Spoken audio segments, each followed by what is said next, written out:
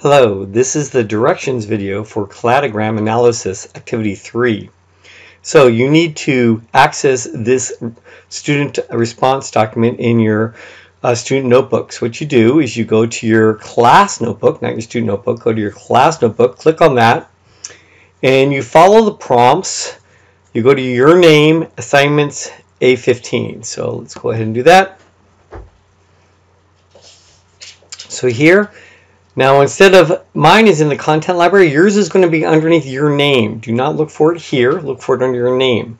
If you do access it here, you'll not be able to um, annotate it. It'll be a blank document or it'll be a document that you cannot write on. So you have to find it under your name, go to assignments, and underneath assignments you look for A15, and under A15 you look for A3. So here is the document right here. And I've made lots of self-help videos to help you with this. So the first self-help video is on characteristic matrix. So you go ahead and you watch that video and it'll tell you how to fill this out.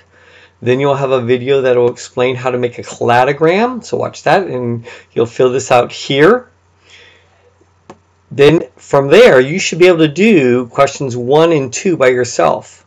Questions three requires you to know something about a June bug. So I made a video for you on uh, what a June bug is and how that fits in and then you will go back and you will extend your cladogram to include a June bug, but you'll use a different color.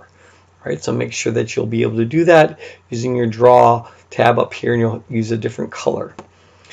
Then you'll be able to do all of these questions by yourself because you should understand cladograms enough to do that.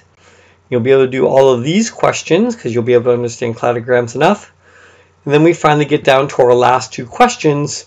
This one and the um, amino acid cytochrome C sequence and I made videos to explain both of those. So that's what you're going to be doing with this document and then at the end you'll share it with me by pushing the share button up here and copying the URL into the submit button at the um, Canvas website. You'll just push copy link and there you go. If you have any further questions, please talk to me, your science teacher.